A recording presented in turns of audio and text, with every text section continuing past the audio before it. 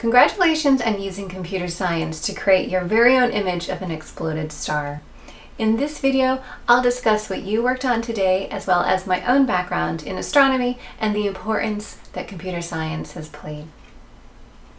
As an astronomer working with NASA data, I get to explore distant worlds each day, and computers help me do that. When I was young, I wanted to be an astronaut. I was obsessed with the space shuttle and the idea of traveling to distant places.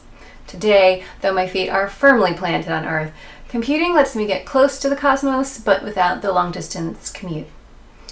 Just think how far the information of our universe has to travel through space as it's collected by observatories orbiting high above our planet, down through satellite receivers here on Earth, before eventually finding its way to my laptop in New England, or now, your computer, wherever you might be.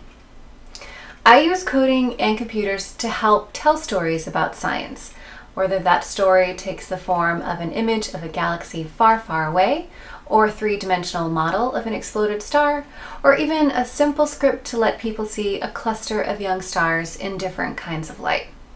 In my job, the science and the technology go hand in hand. Computer science allows anyone to create new things and solve problems. Coding isn't just important in astronomy, but all fields of science. The program that you created today is just like one that a biologist might write to colorize images from a microscope, or that someone in the medical field might write to better understand an image of a patient's brain. Today was just an hour of code. I encourage you, regardless of what you choose to study, to learn more about computer science. Knowing even a little code can empower you throughout your life. If you're interested in learning more about computer science, talk to your teacher and your family. There is a link below this video that contains many different activities involving computer science and coding that you can complete on your own. On behalf of Gus and my friends at Pencil Code, thank you for joining us for this hour of code.